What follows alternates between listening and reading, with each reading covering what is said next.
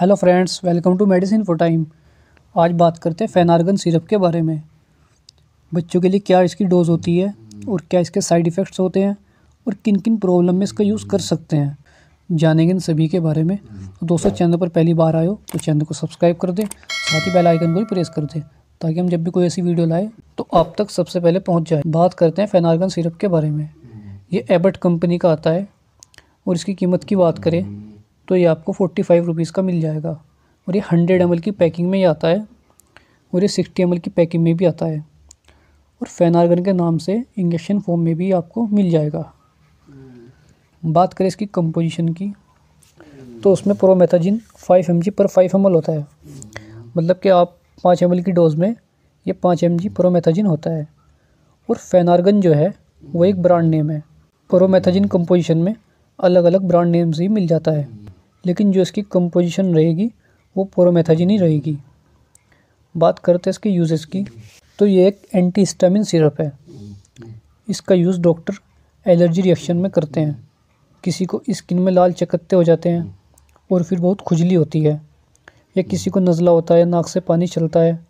या किसी किसी को सफ़र के दौरान नोज़िया वोमिटिंग होती है मोशन सिकनेस के कारण। या किसी बच्चे को कोई चीटी या मकोड़ा काट लेता है, उसमें जलन और दर्द होता है। या बच्चा जब रात भर सो नहीं पाता और रोता है, परेशान करता है, बच्चे की कोई जाँच होनी है, जैसे एमआरआई या अल्ट्रासाउंड तो उसमें बच्चों को पहले सुलाना होता है ताकि बच्चा हिले डुले नहीं, सो जाए और आराम से जाँच करा ले। तो इन सब कंडीशन में डॉक्टर ये सिरप प्रिस्क्राइब करते हैं। बात करते हैं कैसे काम करता है। हमारे ब्रेन से कुछ केमिकल रिएक्शन निकलते हैं और वही हमको बताते हैं कि बॉडी की इस पार्ट में खुजली हो रही है या दर्द हो रहा है। तो ये सिरप जाकर उन केमिकल रिएक्शन को ब्लॉक करता है, जिससे व्यक्ति को खाज, खुजली या किसी जहरीले कीड़े का काटा हुआ महसूस नहीं होता। बात करें इसकी डोज की। अगर बच्चों की बात करें तो उसकी डोज जो होती है, वो वन एम पर के होती है। जैसे कोई बच्चा दस किलो का है तो उसको दस एम देना है और दिन में एक ही बार दे। और आप कोशिश ये करें कि दो साल से छोटे बच्चों को खुद से देने से बचें, बिना डॉक्टर की सलाह से, क्योंकि इसके साइड इफ़ेक्ट्स भी बहुत ज़्यादा होते हैं।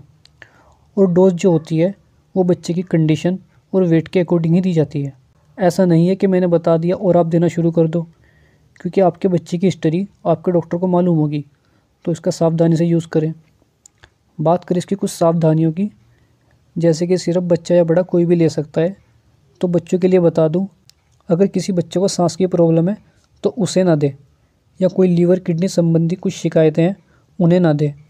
और अगर कोई बड़ा व्यक्ति लेता है तो वो शराब के साथ ना ले और ब्रेस्ट फीडिंग मदर में सेफ़ है।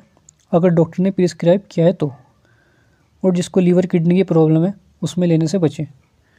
बात करें इसके कुछ साइड इफ़ेक्ट की तो ये कुछ नज़र आ सकते हैं। जैसे ब्रीथिंग प्रॉब्लम्स हो सकती है कॉन्स्टिपेशन नींद ज़्यादा आ सकती है तो ये इसके कुछ साइड इफ़ेक्ट्स हैं। इनमें से अगर कुछ साइड इफ़ेक्ट नज़र आए तो आप इसको रोक दें और अपने डॉक्टर से बताएँ। उम्मीद करता हूँ आपको ये वीडियो अच्छी लगी होगी। अच्छी लगी तो लाइक करें चैनल को सब्सक्राइब करें। धन्यवाद।